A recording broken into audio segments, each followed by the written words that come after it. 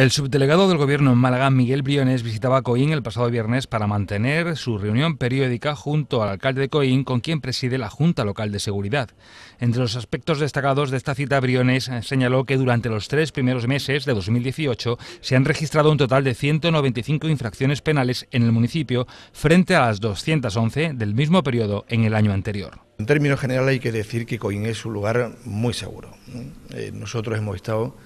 analizando el descenso de la, de la criminalidad con una tasa más que aceptable. Pensemos que en el trimestre del año pasado fueron 211 los, eh, las infracciones penales, los delitos que se produjeron en el primer trimestre y, sin embargo, 195 en el año 2018, lo que va de año.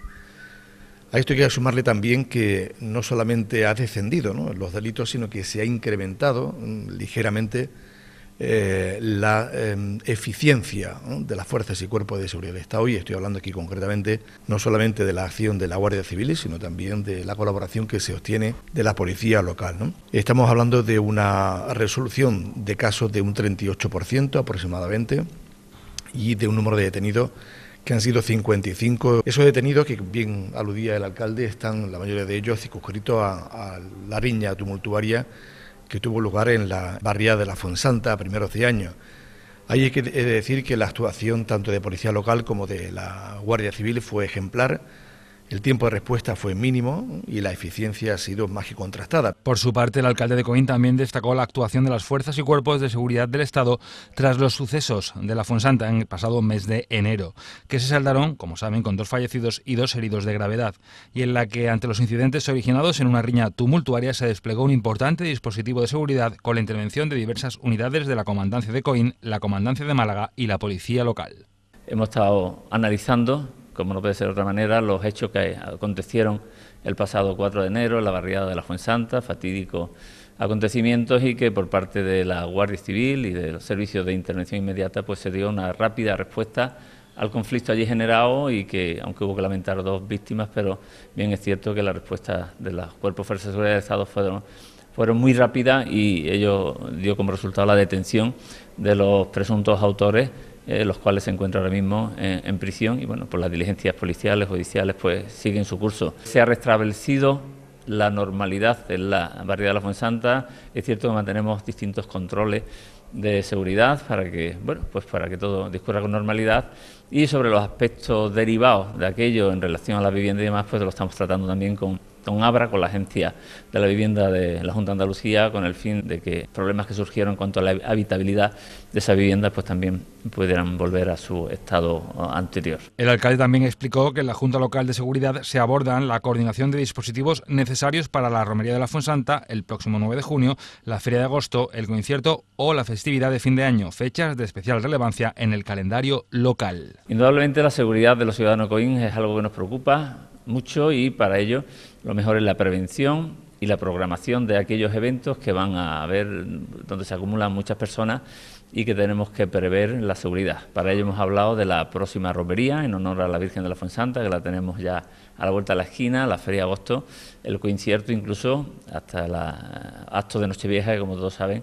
concentran una cantidad importante de ciudadanos en la Plaza Bermúdez de la Rubia Aledaños, puesto que es una fiesta declarada de singularidad turística y que concentra muchísimas personas. Por lo tanto, hemos estado hablando sobre los dispositivos de seguridad, sobre eh, los medios humanos y materiales de que disponemos y, en definitiva, bueno, pues organizando todos esos dispositivos de seguridad. La cita también sirvió para concretar la adhesión del Ayuntamiento de Coín al sistema Biogen para abordar la protección y atención a las mujeres víctimas de violencia de género, para lo que se ha previsto ya una reunión con la jefa de la Unidad contra la Violencia sobre la Mujer de la Subdelegación del Gobierno en Málaga. En relación a esa propuesta que nos realizaba el, interés que ha mostrado realmente el alcalde sobre la adhesión al, protocolo del acuerdo de, violencia de género que hay posiblemente, ¿no? Eh, en breves en breves días tendrán una reunión con la jefa de la unidad de, violencia sobre la mujer de la subdelegación, pues va a dar como resultado que se intensifiquen esas relaciones entre policía local y guardia civil y sobre todo que se establezcan esas medidas de protección y los niveles de riesgo que correspondan de acuerdo con la legislación actual y que sobre todo en esa adhesión al documento de la Federación Española de Municipios eh, con el Gobierno de España pues arroje todavía una mayor eficacia del procedimiento para, para protegerla. Al margen de la seguridad, en esta reunión se quiso también destacar la importancia del programa de fomento del empleo agrario que cada año destina fondos estatales al mundo rural para fijar el empleo y generar riqueza en los municipios mediante la mejora de las infraestructuras y de servicios públicos. Este plan, dependiente del Servicio Estatal de Empleo Público, ha destinado a COIN desde el año 2012 un total de 557.944 euros, lo que ha permitido la firma de 323 contratos durante estos años. Entre las actuaciones incluidas en este programa figura el mirador de la urbanización Buenos Aires que visitó el delegado tras la reunión en el consistorio. Seguir aumentando la empleabilidad, seguir aumentando el crecimiento en cuanto al empleo y por tanto disminuyendo el desempleo y destinando importantes cantidades, importantes fondos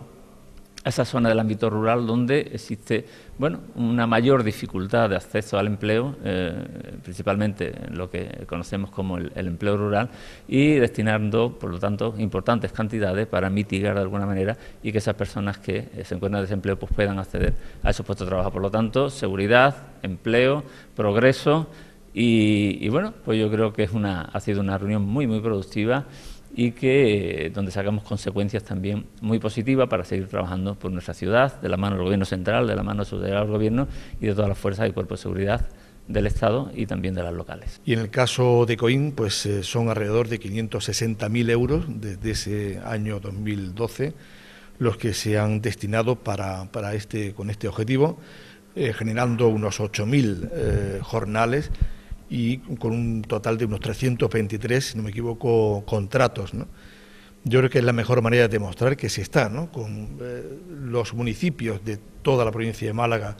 que adorecen de este problema, sobre todo entre cosecha y cosecha, para que el empleo agrario sea una realidad y ayude, evidentemente, al crecimiento del municipio perdón, y, sobre todo, a la generación de riqueza a través de proyectos de empleo estable, que es el principal objetivo al que tienden este tipo de programas.